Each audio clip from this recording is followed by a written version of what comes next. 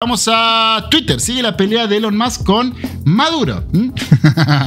que ya empezó hace rato. Ya Elon Musk había tuitado diciendo, che, que esto es un desastre. Maduro agarró ese Twitter de Elon Musk y, dio una conferencia de cinco minutos diciéndole mal el nombre. Elon Musk, Elon Musk, Elon increíble. Hice un short al respecto de cómo la posibilidad de los socialistas de poder decir bien el nombre del capitalista más importante del mundo. lo cual debe tener cierto detalle. Y ahora aprovechó en hacernos este Twitter, en retuitear, mejor dicho, este Twitter Elon Musk. ¿eh? Lo cual debe estar muy agradecido que yo le esté diciendo Twitter a la red que él compró y le cambió nombre X y nadie le dice X. Pero bueno, ahí está. Dice Elon Musk, people vote overwhelmingly for González. ¿eh? De nada por ese inglés perfecto que te acabo de decir, que dice que acá la gente votó de forma arrasadora a González. Resultado nacional, Actas digitalizadas, un 80%. Edmundo González, 7 millones 800, perdón, 86.955. Nicolás Maduro, 3 millones 200.164. Otros, eh, 248.000, ta, ta, ta. ¿Mm? Sigamos. Paulina Bernini responde a los nefastos de Jorge Rial y Pablo Dugan me acabo de enterar de algunas críticas. Cuando lloro no le importa a nadie. Que por supuesto, tampoco es que digo, bueno, tiene que importarle a la gente. Pero uno estando lejos de su familia se puede emocionar. Pero lo que me llama la atención es la cantidad de gente que dice, eh, no le importa a nadie. Gente que tal vez hizo una carrera haciendo notas que no le importan a nadie. ¿Con Dugan tenías algún problema en particular? Él lo tiene conmigo, parece. ¿Hace mucho? o dijo que eras nefasta. En el 2021 fuimos a hacer, fuimos a cubrir cómo estaban en cuanto a las medidas irrisorias y restrictas que había tomado Infram con la gente que podía llegar a tener COVID. Y nosotros encontramos en lo que es toda la zona del Potrillo, el oeste, mujeres embarazadas que tenían miedo, si sus hijos tenían alguna situación donde tenían que quedarse en incubadora, tenían que llevarlos a Formosa. Esto hacía que de las lomitas a Formosa haya 600 kilómetros, entonces preferían parir en el monte. El gobierno de Formosa nos denunció por mentirosos y quien abonó esta teoría y quien firmó junto con el gobierno de Formosa fue Pablo Dugan. Qué bárbaro, ¿no? Qué gente de mierda. Escuchábamos a presidencial ayer a Dorni. Estamos satisfechos desde nuestra postura en que muchos países se han adherido a repudiar o a cuestionar lo que ha pasado en Venezuela con el dictador Maduro. Dictador Maduro que dicho sea de paso ha insultado de una manera no solo inapropiada, sino inaceptable a nuestro presidente de la nación. Así que además, como argentinos, o yo como argentino, o nuestro gabinete como argentino, estamos profundamente no dolidos porque, digamos, algo que venga de un dictador no te duele, pero nos pareció una imbecilidad viniendo de un imbécil. Pero más allá de eso, creo que por suerte la región está entendiendo o ha entendido o entendió que una dictadura como la de Venezuela no se puede permitir. Estamos observando la situación en el minuto a minuto, viendo cómo se siguen desenvolviendo los hechos y efectivamente prestando mucha atención a lo que pasa allí con nuestra embajada. Muy bien, sigamos. Yankee, porque le respondió a todos los que criticaban lanzar la marca de yerba. Esta, no sé si conoce a esta chica, esta chica se casó con un argentino y tienen así como, como shorts de, eh, por ejemplo, cómo se pronuncia en cada país las marcas y eh, otras cosas así. No sé, creo que la, vi una o dos veces, pero parece que bastante eh, exitosa. Y ahora hizo una yerba argentina y al parecer recibió hate por alguna razón, porque la gente es boluda. Escuchamos. Un tweet que hizo viral. Estaba un tweet hablando del lanzamiento de nuestra marca de yerba mate, se llama Cósmico, que recién lanzó en todos los circunstales de Coto. Y obvio, soy Shanky, mi esposa es de Argentina, y hay un montón de hate. Y este es que quiero decir a los haters. Primero, está 100% hecho en Argentina. El paquete, el sticker, la yerba adentro, todo hecho para Argentina. Y por la yerba hacemos con una cooperativa, entonces toda la plata que estamos invirtiendo va a personas argentinas. Segundo, obvio, Cósmico es una empresa registrada, entonces pagamos impuestos a Argentina. Y bueno, si no te gustas Show o mi yerba, ojalá que este está motivando para hacer su propia marca de yerba o cualquier cosa. Para terminar, tengo confianza en Argentina, hay un montón de oportunidad, entonces estoy feliz que estoy invirtiendo en Argentina. Así que, bueno, ayer posteé un tweet que... ¡Vamos! Sigamos. Todos los kirchneristas mugrosos váyanse a vivir a Venezuela, pero no con su plata, vayan a vivir con el sueldo mínimo a ver cuánto aguantan. Escuchemos a Talibán, esto de carajo. Mantener también, porque en Venezuela hay un sueldo de 3, de 5 dólares. Yo a todos los kirchneristas, a todos estos hijos de su hermana, les, diga, les digo, vayan, vayan a Venezuela, vayan a Venezuela, pero no se vayan con la plata que tienen. Vayan a vivir con el sueldo mínimo de un venezolano, a ver cuánto aguantan. No existe a ver si van a vivir de, del mate, de todo lo que ustedes quieran. Chicos, es insufrible, hermano, es insufrible. Los medicamentos, los insumos, no hay nada. Es muy, muy, muy, es delicado, hermano. De hecho, mantener también, porque... Terrible, ¿no? Sigamos.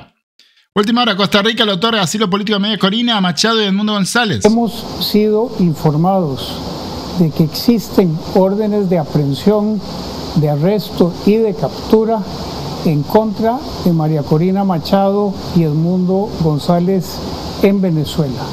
Por este medio, el gobierno de la República, por mi medio, anuncia que estamos dispuestos a otorgar asilo político, refugio en Costa Rica, tanto a María Corina Machado como a Edmundo González y a todo otro perseguido políticamente en Venezuela en especial también aquellas personas que se encuentran refugiadas en la Embajada de Argentina en Caracas. Costa Rica ofrece asilo o otorga asilo político a María Corina Machado y a Edmundo González en suelo costarricense. Muchas gracias. Bien, Costa Rica, vamos. Escuchemos. ¿Qué, qué puedes decir de eso? Sí, sí, sí. Eh, a ver, yo, yo al Javo lo, lo, lo, empecé a seguir en el 2021, cuando, cuando se lanzó la campaña a diputado. Eh, la verdad que en principio decía está loco, ¿viste? Porque esto, esto es muy importante, ¿no? Cuando uno llega de Venezuela, te lavan la cabeza de que el Estado es la solución de todos los problemas, ¿sabes?